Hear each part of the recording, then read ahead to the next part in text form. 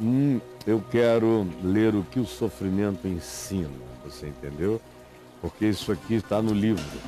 E o livro está no portal caiofábio.net, esperando por você na loja online ou em todas as livrarias do Brasil. Quando se está disposto a trocar a verdade pela mentira e a intuição do divino pela construção própria de qualquer forma de Deus, entre aspas, Deus conveniente, entre aspas, surge o culto a si mesmo. E quando e com ele, com o culto a si mesmo, nasce a disposição mental que se entrega com avidez a toda sorte de paixões que aparecem na alma.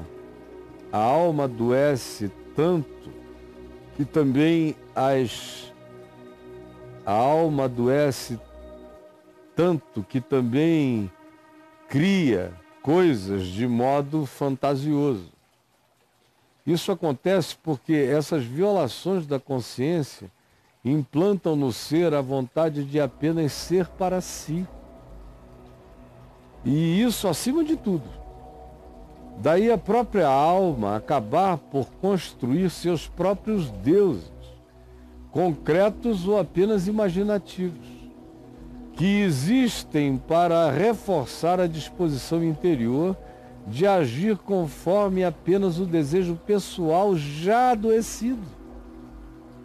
Desse modo, não somente deuses de pau, pedra, madeira, gesso ou ouro são construídos, mas também deuses abstratos, e que podem até mesmo ser chamados apenas de Deus, mas que nada mais são que construções abstratas que existem a fim de legitimar as paixões da alma doente. Nesse caso, o Deus, entre aspas, de cada um, fica exatamente do tamanho da perversa paixão que alguém deseja expressar pois a disposição mental reprovável precisa de deuses, entre aspas, que lhe deem esforço e validação, reforço e validação. Daí as grandes perversões da mente serem fruto direto das paixões que se colocaram acima de qualquer coisa, fazendo com que a pessoa ou sociedade, no caso de virar cultura, se entregue a si mesma como se isso fosse uma lei divina, seguir o seu capricho. Todos nós trazemos a norma da lei gravada no coração, como Paulo diz em Romanos 2, 12. Todos nós trazemos a norma da lei gravada em nossos corações. Ora, a fim de esquecer de tal norma inata, é que criamos deuses que sejam camaradas em relação aos nossos próprios desejos e paixões, ou que demandem de nós como sacrifício os nossos maiores desejos e paixões. É bipolar. Ou a gente cria para adular os nossos desejos e paixões, ou também cria para que eles demandem como deuses os nossos sacrifícios de desejos e paixões incluindo nesse caso todas as formas de sadomasoquismo, especialmente os de natureza psicológica sutil.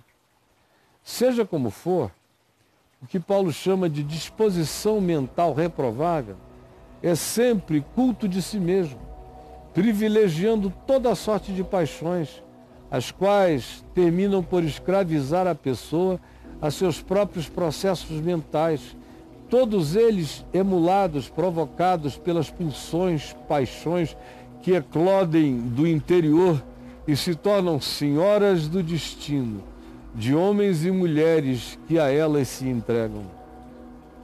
Quando esse estado se estabelece, o sentido de realidade acaba, pois quem se entrega perde a capacidade de ver o todo da realidade possível e assim mergulham cegos no mundo governado pelos instintos e paixões, a ponto de apenas conseguirem enxergar a si mesmos, eliminando da percepção qualquer outro valor que não sirva aos propósitos da entrega para praticar como Paulo disse, coisas inconvenientes. Quer seguir lendo esse capítulo? Está aqui que o sofrimento ensina. E você acha no portal caiofábio.net na loja online ou então em todas as livrarias do Brasil. Procure que você encontrará lá, encontrará lá. Tá bom?